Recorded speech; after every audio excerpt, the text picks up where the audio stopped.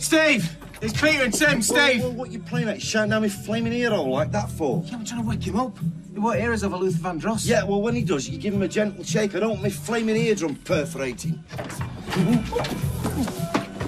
Oh, we were, uh, the, the thermostat's broken. Well, it was. It was really warm in here. this is what it looks like. Save it. Tracy, your fiancée, she's at hospital with Amy. She's had an accident. Why, what's happened? Well, if you get some clothes on, we'll go find out, shall we? I'll, yeah, I'll, I'll, I'll, I'll get me. Um... Well, he did say that his thermostat was broken.